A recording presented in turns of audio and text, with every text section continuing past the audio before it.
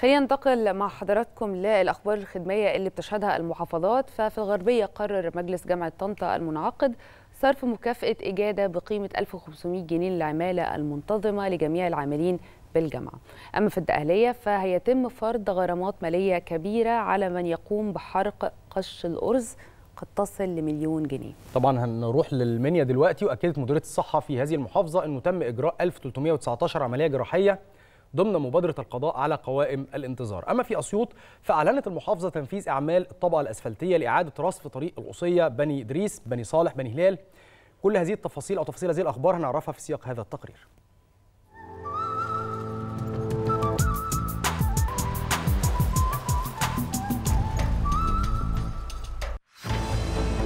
أخبار خدمية كتير شهدتها المحافظات. في الغربية قرر مجلس جامعة طنطا المنعقد صرف مكافأة إجادة بقيمة 1500 جنيه للعمالة المنتظمة لجميع العاملين بالجامعة وأفراد الأمن والمنتدبين وهيئة التمريض بالمستشفيات الجامعية والذين هم على رأس العمل. وأيضا صرف مكافأة تعادل أجر 10 أيام بحد أقصى 800 جنيه للعمالة غير المنتظمة.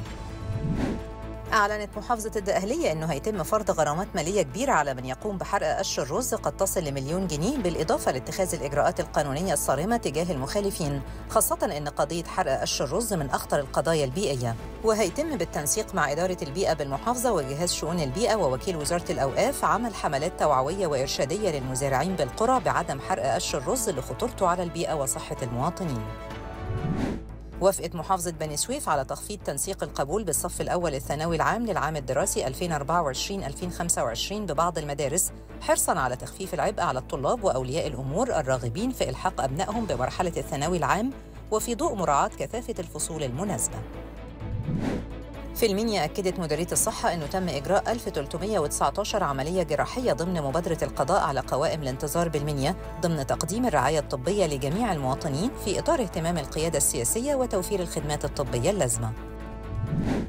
فأسيوط أعلنت محافظة أسيوط تنفيذ أعمال الطبقة الأسفلتية لإعادة رصف طريق القوسية بني إدريس بني صالح بني هلال بطول 6.6 كيلومتر وده ضمن خطة المحافظة لرفع كفاءة وتطوير الطرق سواء الداخلية منها أو الخارجية لتسهيل النقل والانتقال بمعدلات أمان وسلامة عالية والمساهمة في تحسين البنية التحتية بقطاع الطرق باعتباره قطاع حيوي أحد عوامل تحقيق التنمية المستدامة ورؤية مصر 2030 أعلنت محافظة كفر الشيخ افتتاح معرض أهلا مدارس بمدينة بلطيم لتوفير مستلزمات الطلاب بأسعار مخفضة وتخفيف العبء المادي على الأسر مع بداية العام الدراسي الجديد بيضم المعرض العديد من المستلزمات المدرسية المختلفة بما في ذلك الزي المدرسي، الحقائب والأدوات المكتبية والأحذية وغيرها، وده في إطار حرص المحافظة على توفير كافة المستلزمات المدرسية للطلاب بأسعار مخفضة وتنفيذا لتوجيهات الرئيس عبد الفتاح السيسي رئيس الجمهورية.